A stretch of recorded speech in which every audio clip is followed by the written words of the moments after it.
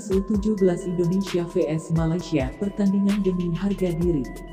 Namun sebelum kita lanjut, mohon luangkan jari Anda untuk menekan tombol like, komen, dan subscribe agar kami makin bersemangat menyajikan berita olahraga setiap harinya.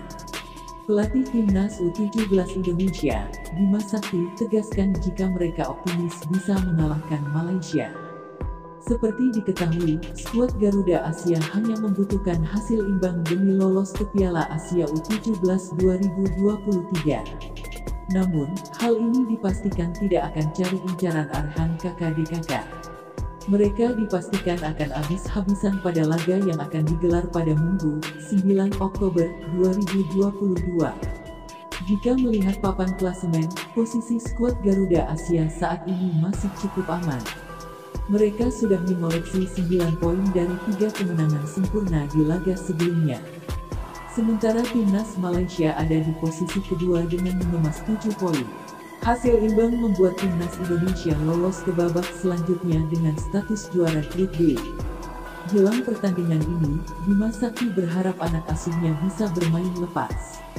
Menurutnya, dengan waktu yang sempit maka recovery Peman menjadi fokus utama tim pelatih. Kita noting tulose aja, pertandingan terakhir kita tuan rumah. Sama seperti kita, mereka juga akan mengatur bagaimana recovery pemain supaya agar lebih pulih, kata Bima Sakti. Menghadapi laga krusial, Bima justru memberikan sinyal akan melakukan rotasi. Beberapa nama baru diprediksi akan menjadi pilihan saat melawan Malaysia.